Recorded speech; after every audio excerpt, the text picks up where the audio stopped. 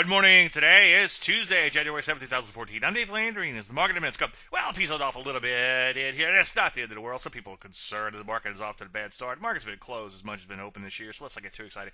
Just saying. Also, we had a pretty good run up coming into the year. Speaking of the run up, looks like we're really pulling back from that breakout. Take a look at NASDAQ. Same sort of action going on there, too. Hit a little bit harder. It's important, again, for this breakout to hold, but so far, so good. Rusty did come back to its prior breakout. Not the end of the world, but uh, ideally, you want to see 114 ish hold there. Most areas, just pick some random areas chemicals, uh, manufacturing, aerospace, defense, whatever you want to call it.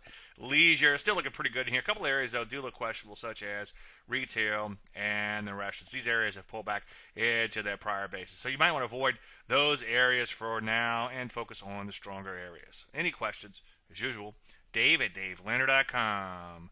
I'm Dave Landry, and you just heard a market in a minute.